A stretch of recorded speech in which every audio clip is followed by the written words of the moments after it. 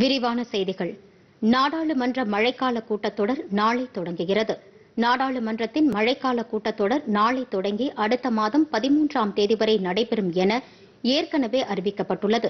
Corona இரண்டாம் அலை பரவல் நாடு முழுவதும் குறைந்து வரும் சூழலில் பாதுகாப்பு விதிமுறைகளுடன் அனைத்து உறுப்பினர்களும் நாடாளுமன்ற செயலக அலுவலர்களும் பங்கேற்க வேண்டும் என அறிவுறுத்தப்பட்டுள்ளது.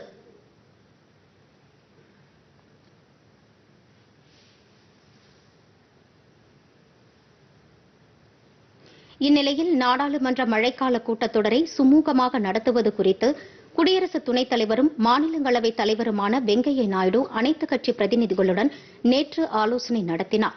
இந்த கூட்டத்தில் மத்திய அமைச்சர்கள் பியூஷ் கோயல் நிர்மலா சீதாராமன் தர்மேந்திர பிரதான் அஸ்வினி வைஷ்ணவ் உள்ளிட்டோர் கலந்து கொண்டனர்.